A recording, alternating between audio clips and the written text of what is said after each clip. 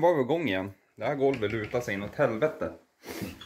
Och det är ju inte, det är inte isolerat och inte gjort någonting.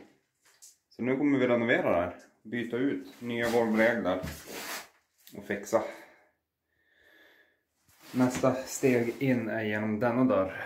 Och då ska vi renovera eh, gamla vedbon och då kommer jag lägga nytt golv där inne också isolerat. För jag kommer ha det till annat än en vedbod framöver.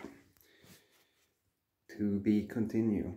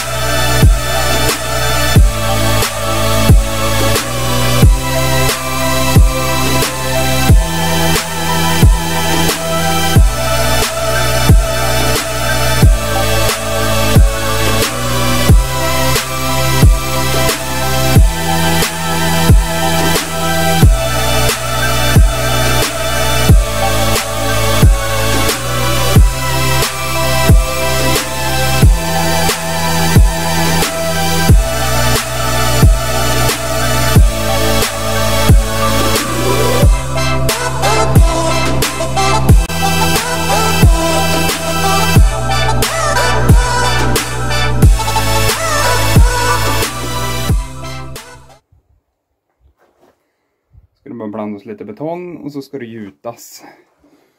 Sen blir det ju att fortsätta att regla och dona.